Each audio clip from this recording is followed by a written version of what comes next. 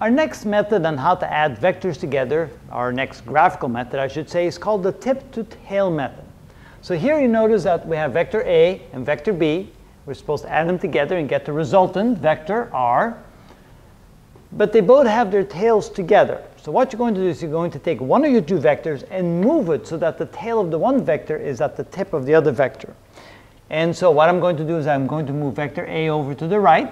Course, what I cannot do is I cannot change the direction of the vector and I cannot change the magnitude or the length of that vector. As long as I keep those two the same, I have no change at all in my problem here. So I move this over, put it right there, and I redraw the vector over here. Notice it has the same direction, and the same length. Now, the resultant vector will be the vector I draw when I start from the tail of the first one to the tip of the last one. And let me mark this one down. This is still vector A, the exact same vector I had before, simply moved over. And so now I'm going to draw my line from the tail of the first vector B to the tip of the second vector A. So, and this now becomes the sum of a plus b, which of course can now be written as the resultant vector. And that's another way in which you can add, vect add vectors together. Now that's kind of a neat method because what if you have three vectors or four vectors? Let's say we have vector A in this direction right there. Let's say we have vector uh, B in this direction. And let's say we have vector C in this direction.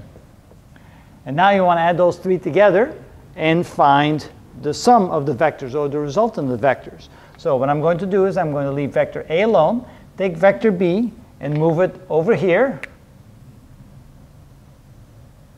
So this now becomes my vector B, moved into new position. I'm now going to take vector C and move it over here. A vector C, and now I can draw a single line from the start or the tail of vector A to the tip of vector C.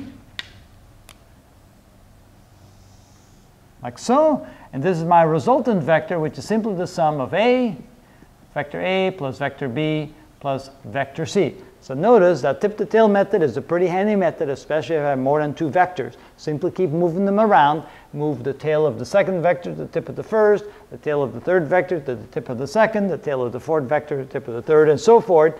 And that's how you graphically add vectors together, as long as you don't change the direction or the magnitude of any of the vectors.